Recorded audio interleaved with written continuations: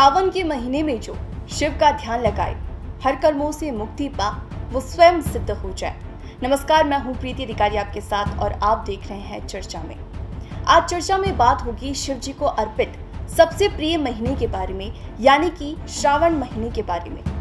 दोस्तों, सावन महीना इस धरती को अपने अमृत वर्षा से हरियाली की चादर तो उड़ाता ही है, पर साथ में लोगों को धार्मिक आस्था से भी बांधे रखता है। क्योंकि ऐसा माना जाता है कि भगवान शिव को सावन का महीना अत्यंत ही प्रिय है, जो सकारात्मक शक्ति, शुद्धि और ध्यान सिद्धि के लिए प्रसिद्ध है। सावन के पहले सोमवार के साथ ही भगवान शिव की आराधना की जाती है और इसी दिन से कावड़ यात्रा भी शुरू होती है, जिसमें भाग लेने के लिए लोग दूर दूर से आते हैं। और आज के इस एपिसोड में हम जानेंगे कब से शुरू हो रहा है सावन का सोमवार क्यों सावन का महीना है इतना खास? और क्या है कावड़ यात्रा का रहस्य? तो चलिए शुरू करते हैं। इस साल सावन का महीना बहुत ही खास होने वाला है, क्योंकि इस साल सर्वसिद्धि योग के साथ पहले सोमवार की शुरुआत हो रही है। इस साल यानी कि 2024 में सावन के सोमवार और कावड़ यात्रा 22 जुलाई 2024 से शुरू हो रही है, जो 19 अगस्त 2024 तक चलेगी, जो पूरे पाँच सोमवार भगवान शिव को आराधना पूरे जोरों शोरों पर रहेगी। इस पूरे महीने के दौरान सभी लोग अपने पूरे श्रद्धा भाव से भोले बाबा को प्रसन्न करने का पूरा प्रयास करते हैं। तो चलिए जान लेते हैं, क्यों है सावन का महीना इतना खास? ऐसा माना जाता है कि सृष्टि के पालनहार भगवान विष्णु देवशयनी एकादशी पर छह महीने के लिए योग निद्रा में चले जाते हैं और उस दौरान भगवान शिव सृष्टि के संचालन के रूप में इनका उत्तरदायित्व अपने हाथ में लेते हैं।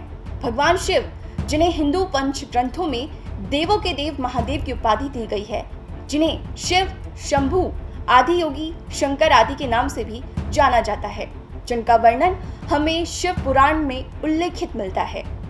वह एकमात्र ऐसे भगवान हैं, जिनको श्रद्धा भाव से चढ़ाया हुआ एक लोटा गंगा जल से भी प्रसन्न किया जा सकता है। शायद इसलिए ही उन्हें भोला भंडारी भी कहते हैं। जिन्हें सिर्फ़ भक्तों की आस्था से मतलब है, उनके कर्मों से नहीं। वही इस माँ से जुड़ी एक कथा भी सामने निकल कर आती है। ऐसी मान्यता है कि समुद्र मंथन के दौरान हलाहल नाम का विष भगवान शिव ने अपने कंठ में धारण किया था, जिससे उनके गले में हो रही जलन और पीड़ा को कम करने के लिए सभी देवी देवताओं ने उन्हें बेलपत्र के साथ जल अर्पित करना शुरू किया। तब से ही शिव जी प्रसन्न हुए और तब से श्रावण मास में शिव जी का आराधना का महत्व और भी ज़्यादा बढ़ गया। इसी के साथ ही कावड़ यात्रा की भी शुरुआत होती है, जिसकी मान्यता अलग अलग कथाओं से मिलती है, जिनमें से एक है, शिव भक्त रावण से जुड़ी।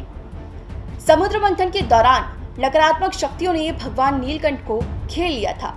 तब रावण ने महादेव को नकारात्मक शक्तियों से मुक्त कराने के लिए रावण ने ध्यान किया और गंगाजल भर करके पूरा महादेव का अभिषेक किया, जैसे महादेव नकारात्मक ऊर्जाओं से मुक्त हो गए थे। तभी से कावड़ यात्रा की परंपरा भी प्रारंभ हो गई, जिसे सबसे कठिन यात्रा में से एक माना जाता है। इसके भी कई प्रकार हैं, जिनमें सामान्य कावड़, डाक कावड़, झांकी कावड़, खड़ी कावड़ और दंडवत कावड़ प्रचलित है। इनकी प्रक्रिया भी अपने आप में अलग है। यात्रा शुरू करने से पहले श्रद्धालु बाँस की लकड़ी पर दोनों ओर कलश के साथ किसी पवित्र स्थान पर पहुँचते हैं और गंगाजल लेकर लौटते हैं। इस कावड़ को लगातार यात्रा के दौरान अपने कंधे पर रखकर यात्रा करते हैं।